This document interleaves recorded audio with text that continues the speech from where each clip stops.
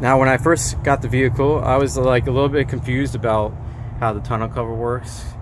Um, I, I, know like Hyundai had like some kind of recall that was going on um, for certain ones, um, but it was because this uh, like this plastic housing right here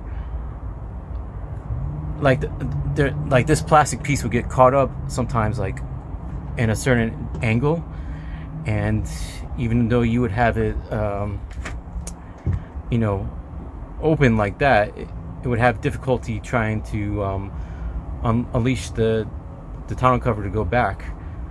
Um, but I, I, figured that out after uh, after some research.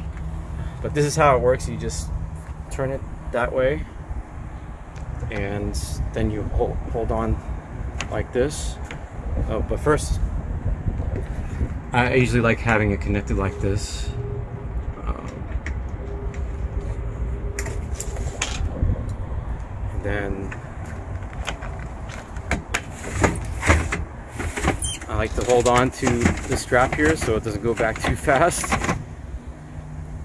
And this bed is about uh, it's a little bit uh, it's a little bit more than four feet long. With the tailgate down it's more like um, four and a half feet.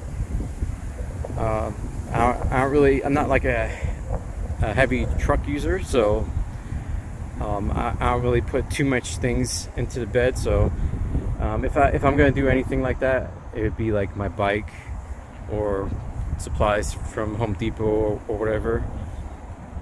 And uh, they have uh, many different accessories that you could get like a tailgate extender or you could just simply uh, put this up like that and get like some kind of um, cover um, and, and, then put your bike wheel over here